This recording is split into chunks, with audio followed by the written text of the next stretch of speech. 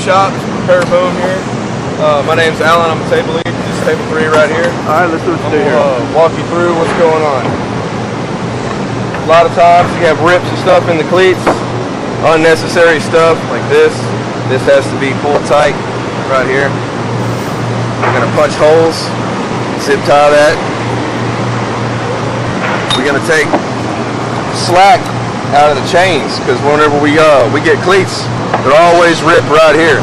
So what we do is we pull the cable tight, pull the chain tight, put a little bow right here. That way, whenever it's pulled on either side, it's not pulling on the vinyl. When it comes from the manufacturer, everything's all the same length and it ends up getting stretched out in the. We go along, we check for holes. Uh, I don't really see any holes right now. Anytime there's a hole in here, it has to be patched, welded. We use heat guns.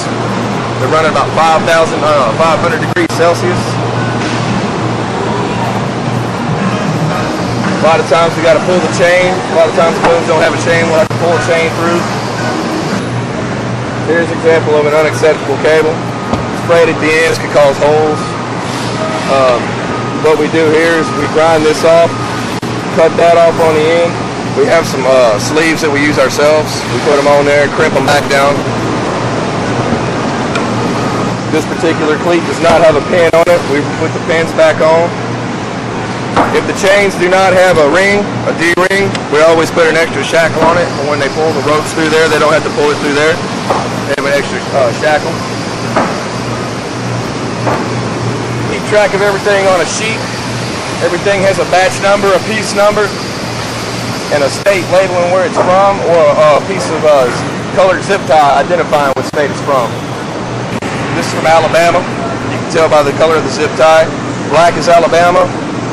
Uh, blue, green, and yellow is uh, Mississippi. White and clear is Florida. When we repair the cleats,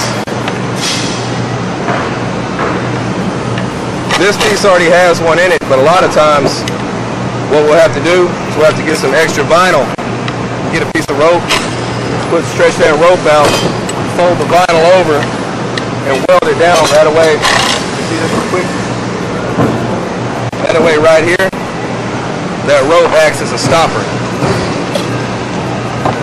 We're gonna have to do, see this piece of boom right here? See how it's cut in half? We cut that off, take that out, use the extra slack to put it back on, versus just scrapping a whole section. Broadest. Hey, Aaron, tell us what's going on. Alright, the guy here, he's gonna uh, use a heat gun to patch a hole in this boom together.